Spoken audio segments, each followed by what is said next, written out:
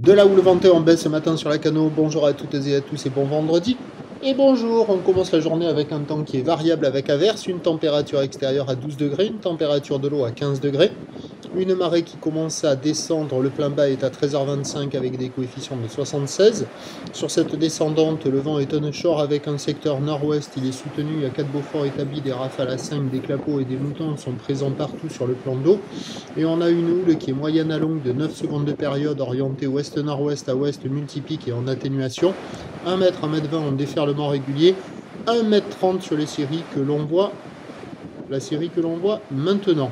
C'est moche, c'est médiocre, c'est tordu, c'est agité, même si euh, y a quelques bouts qu'on voit euh, avec le début du descendant, mais bon là il n'y a personne à l'eau. C'est vraiment pas valable. L'évolution pour le reste de la journée, la boue Arcachon-Gascogne est stationnaire à minuit à 2 mètres et 6 secondes. La houle va être stationnaire à la canot à la mi-journée. En hausse en soirée, car la boue et Brest a eu un pic hier à 16h à 2 mètres 30 et 7 secondes. Pour ce qui est du vent, du vent onshore qui va se calmer cet après-midi. Prévision à 9h 1 mètre 30 ou ouest-nord-ouest à ouest 9 secondes de période vont de nord-ouest 4-5. À 13h 1 mètre 30 ou ouest-nord-ouest à ouest 9 secondes de période vont ouest-nord-ouest à 4 Beaufort.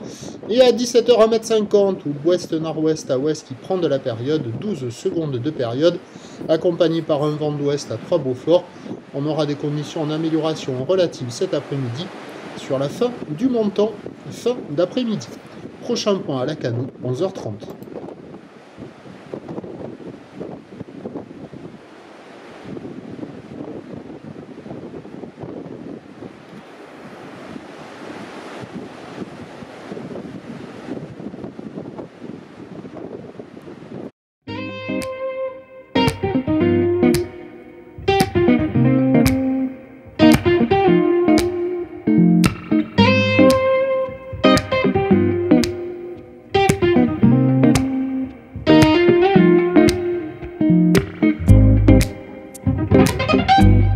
De là où l'on